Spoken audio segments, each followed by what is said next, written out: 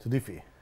أضيف على وسط الملعب. آه. غياب أكرم توفيق إنه ما بيبدأش بعد ما بدأ ماتشين ورا بعض وشفنا الشكل والتحول الدفاعي لخط وسط ملعب النادي الأهلي والتركيبه لخط وسط ملعب النادي الأهلي اختلفت في الماتشين الأخر سواء ماتش الإسماعيلي وقبل كده ماتش آه، مازيمبي.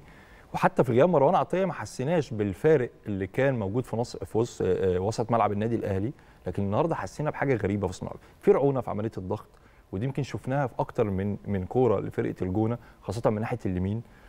الرعونة كانت جاية من ناحية حسين الشحات في عملية الارتداد عملية الضغط على اللعيب حامل الكورة. نفس الكلام آه، أحمد نبيل كوكا.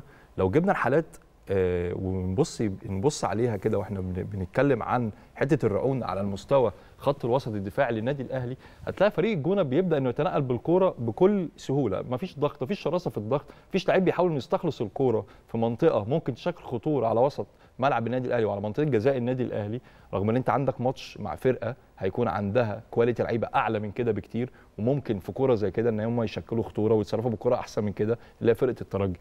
كورة بعد كده كريم نفس الوضع اللعيب بيعدي بكل أريحية بيعدي من أحمد نبيل كوكا بكل أريحية بعد كده اللعيب هيقوم وياخد الكورة ويسدد. كل ده بيتم ولعيبة النادي الأهلي بتتفرج وهم اللعيبة بتاعت وسط الملعب. نفس الكلام بيتكرر تاني وهنا الكورة اللي هيبدأ إن كولر يتنرفز على أحمد نبيل كوكا هتبدأ تشوف برضو نفس ال- ال- الطريقة من ناحية اليمين برضو اللي موجود فيها حسين الشحات اللي بيعمل عملية ارتداد مع علي معلول. وبعد كده برضو اللعيبة بتتنقل بالكورة بكل أريحية. حتى لما الكورة بتتقطع بيرجعوها تاني من أقرب نقطة لمرمى آه، النادي الأهلي. ضغط برعونة برضو من أحمد نبيل كوكا لعيب بيستخلص الكورة بيسدد. آه. بص الراجل بيتريق على عملية الضغط الآن بأحمد نبيل كوكا ارجع فريم هتلاقيه راجل بيعمل كده.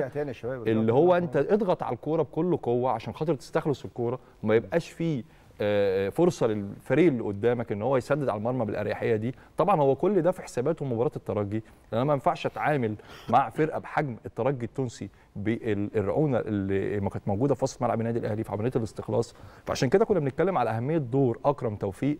ودور آه، مروان عطية. ارجع فريم هتلاقي حتى هو بيحرك رجله في عملية الدوس على الأرض كان بيتكلم على أحمد نبيل كوكا اللي هو اضغط اضغط على الكورة بكل قوة عشان تستخلصها بلاش الرعونة وتبقى خايف على رجلك. دايما بنقولها في الضغط يعني. آه بالظبط اضغط على الكورة عشان تحاول تستخلصها في أقرب نقطة وتقدر إن أنت تعمل عملية التحول الهجومي. لكن طبعا وجود أكرم ووجود مروان عطية وعودته النهارده وبدأ يشارك هيزودوا من قوة وسط الملعب النادي الأهلي.